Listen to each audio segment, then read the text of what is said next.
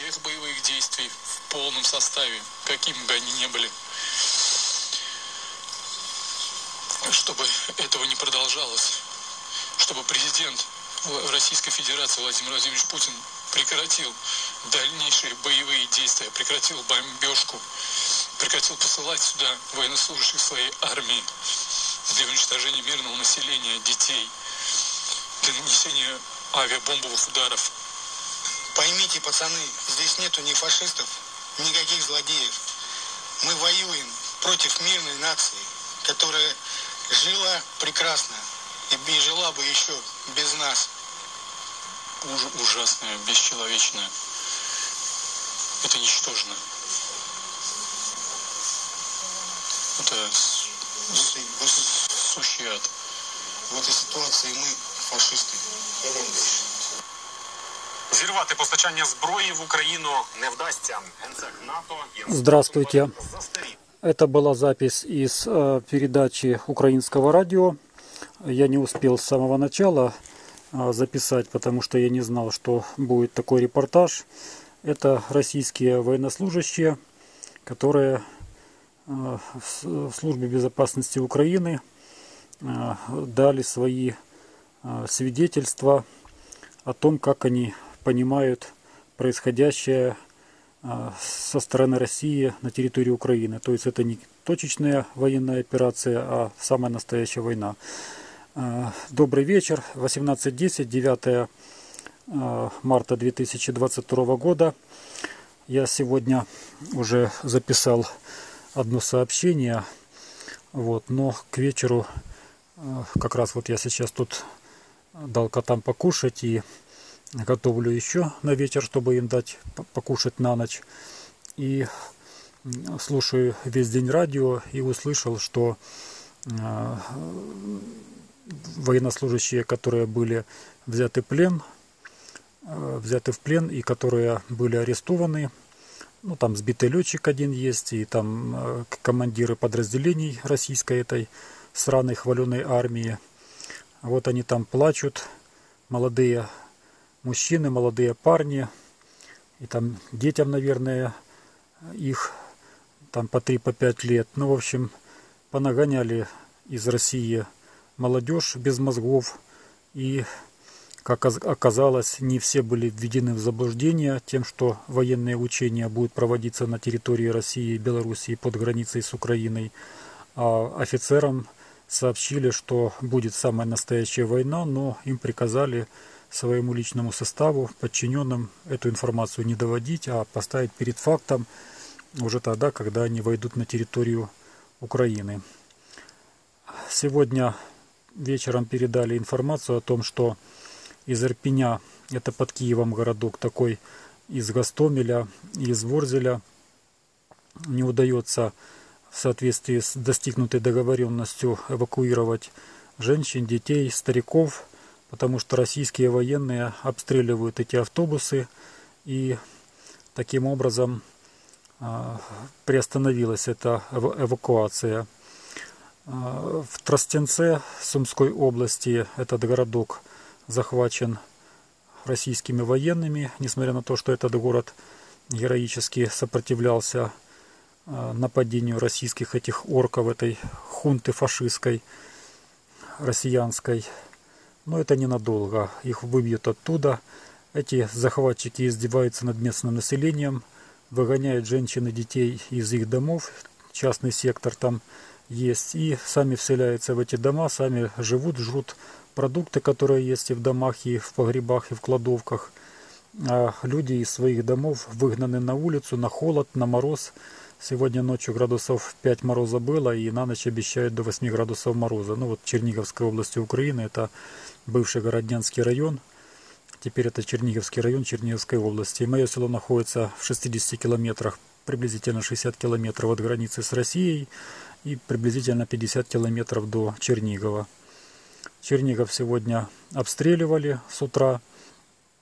Из Чернигова тоже эвакуация населения производится, потому что две трети города, как сообщил мэр Чернигова Трощенко, оказалось без отопления, без обогрева и без э, электричества. э, повреждена линия электропередачи от Чернобыльской атомной электростанции между Славутичем и Чернобылем. Российские вояки высоковольтную линию 750 киловольт, мачту большую такую сбили. Ну, это специально, целенаправленно стреляли для того, чтобы эта мачта завалилась.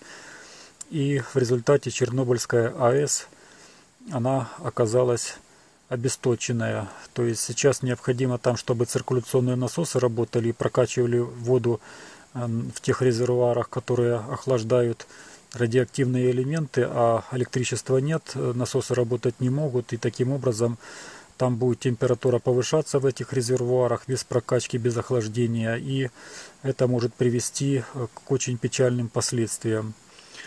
В общем, на территории Украины напала дремучая э, орда татаро-монгольская, э, орки самая настоящая. Это, это не Россия, это Мордор, как в фильме было показано. Вот как показали в фильме этих мордорцев, этих орков дремучих, это зло. Вот то же самое фактически сейчас происходит на территории этой Российской Федерации. Путин закопался, этот карлик, эта крыса, закопался на большую глубину, на километровую глубину бомбоубежище ядерное где-то в Уральских горах, там в одну из двух, или э, в Уральских горах, или там рядом где-то с ними. В общем, мало кто знает, где это все находится. Перепуганное такое маленького роста существо – которая всего боится, шизофреник, психопат и параноик. И подписанное соглашение между украинской властью и российскими властями по организации зеленого коридора, по эвакуации э, населения из э, городов Ирпень, Гастомель и Ворзель обстреливают автобусы с этими людьми и не дают возможности людям эвакуироваться. Ну, в общем, э, как всегда было известно, что любой договор с Россией не стоит даже той бумаги, на которой он написан. А почему так происходит? Потому что Россия по своей сути является склочной, хищной, кровожадной, паскудной, мерзкой, бессовестной бабой, которая решила развестись с мужем, отжать у него все его имущество, забрать детей, поставить мужа на алименты, э, отхапать у мужа все – Э, загнать его в кабалу э, долговую на многие годы и значит, даже довести его до могилы для того, чтобы он жить не мог, ну то есть просто загубить его, потому что ей так хочется. И так как у бабы такой совести нет абсолютно никакой, то любой договор с ней, он абсолютно бесперспективный, потому что выполнять она его не будет, и э, взывать к совести, к порядочности, к честности, к справедливости, э, каким-то душевным, э, человеческим, добрым качествам бесполезно, потому что как у склочной бабы, которая киданула мужа, как и у России, абсолютно никаких признаков совести нет. Ну, тем более, что Путин параноик, он психопат, а психопатия это тяжелое неизлечимое заболевание, а, полное отсутствие эмпатии, эмпатии то есть сострадания, сочувствия, обслуживание только своих личных корыстных устремлений, целей. И с Путиным бесполезно договариваться. То есть такие существа, они боятся только а, силы а, и только угрозы личной безопасности и смерти. То есть сейчас всему мировому сообществу нужно максимум ввести санкции против э, этой российской гребаной федерации э, для того, чтобы э, ввести ее в такое состояние, чтобы там люди уже выходили на площади, на улицы, несмотря на принятые Госдумой законы, вот эти фашистские, что за высказывание правды о войне 15 лет уголовного срока будет содержание в тюрьме. Так вот, даже несмотря на вот эти вот фашистские законы, люди будут выходить на улицы, сопротивляться, бастовать и свергать эту проклятую фашистскую хунту, которая сидит в Кремле и которая гнобит все народы и э, национальности на территории самой Российской Федерации и лезет на чужую землю и посылает своих э, детей, сыновей и внуков на территорию соседнего суверенного, свободного независимого государства с той целью, чтобы пограбить его, захватить, прихватить, ну как всю жизнь татаро-монголы делали, и для того, чтобы на этом поживиться и на...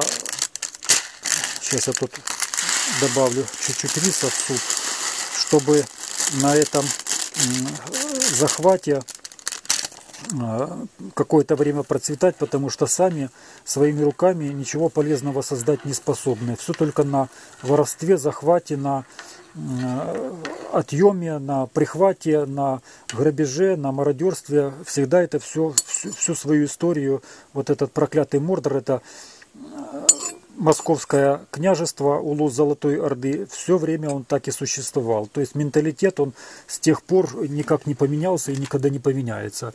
То есть радикальными методами нужно э, решать эту проблему, максимум экономических санкций вводить э, против России, арестовывать все счета за рубежом, всю недвижимость, все самолеты, все корабли, для того, чтобы все, что ходит под флагом России, было арестовано, заморожено, арестовать дочь вот этой грустной лошади Лаврова, министра иностранных дел, которая проживает в США, она на русском языке с трудом разговаривает, она на английском языке говорит многократно лучше, чем на русском языке, посадить ее в тюрьму, и пусть она сидит до тех пор, пока не прекратится эта война России против Украины.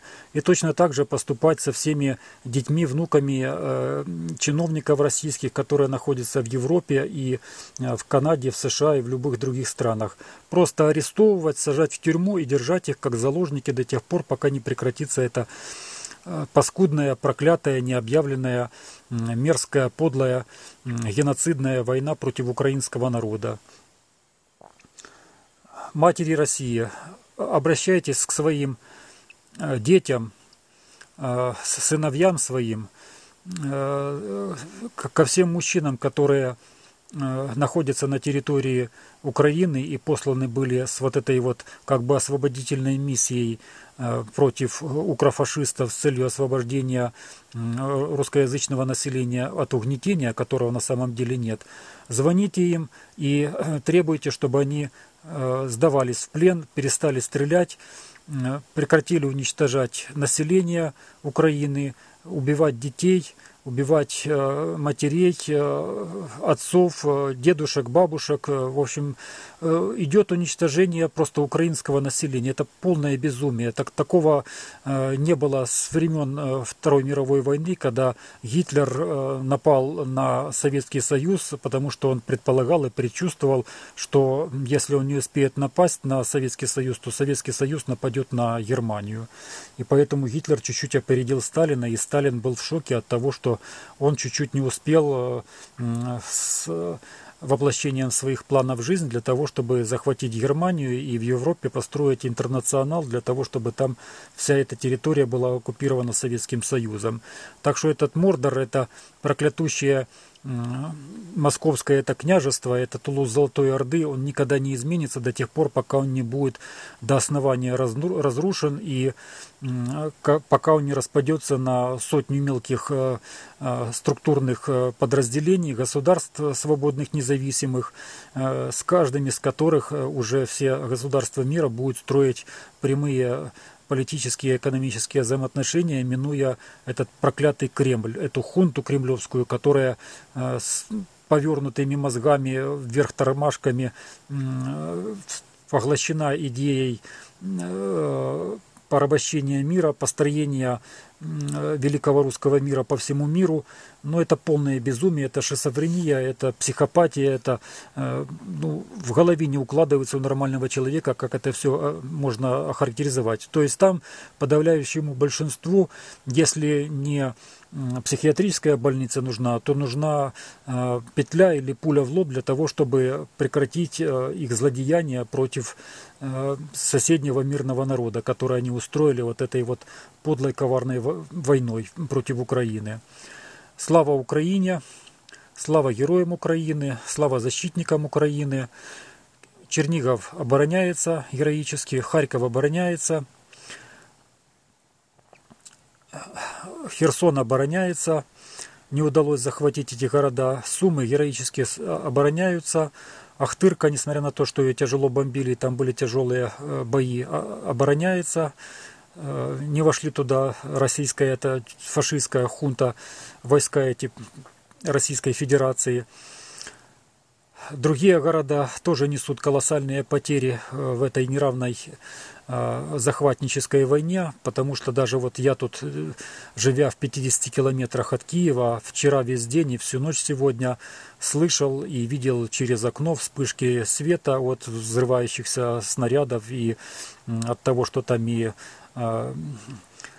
бомбили ковровой бомбардировкой установками типа «Град» э, Чернигов, и из пушек стреляли, обстреливали, и разрушали и жилые дома, и э, больницы, и роддома, и, ну, в общем, все что угодно. Куда снаряд долетел, вслепую, куда он попал, то он разрушил. Я надеюсь, что эта проклятая паскудная война скоро закончится, и Россия, она уже находится в жопе э, мира, потому что столько экономических санкций против нее – а, принято, что народ скоро взвоет и будет проклинать этого паскудного карлика, который уже больше 20 лет у власти, проклинать его будет, на чем свет стоит, и уничтожат его сами, задавят руками там и, и, и сожгут его в крематории или просто на костре там разопнут его и э, от, от него и пепла никакого не останется.